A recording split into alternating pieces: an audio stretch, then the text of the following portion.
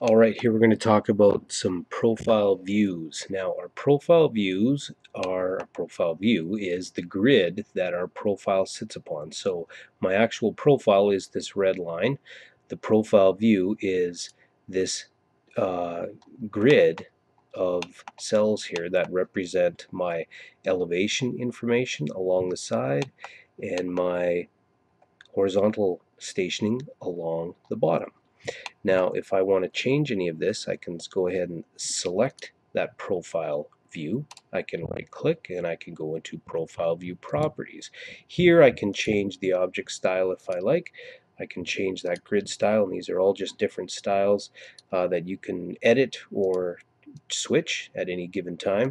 Stations here, it'll tell me that the profile view will be drawn from station 0 all the way to the end of the alignment. You can override that if you like. The same with the elevation. The automatic height gives you the minimum 624 and maximum 786. You can change those if you want to give yourself a little bit more space along the bottom. You could lower this to 622 for instance and that'll give you a couple extra uh, meters of space below the bottom of your grid. Um, under the profile tab here we've got some information pertaining to the profile. The band segment refers to this information along the bottom of the profile. So this here is our elevation band. It gives the stationing and it gives the finished and existing ground elevations of that uh, surface profile at that station.